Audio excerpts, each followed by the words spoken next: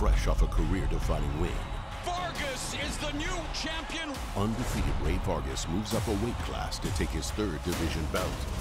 But top prospect Oshaki Foster has championship aspirations and the skills to match. Oh, and he's hurt! Only one will triumph. Vargas versus Foster, live February 12th, only on Fight Sports.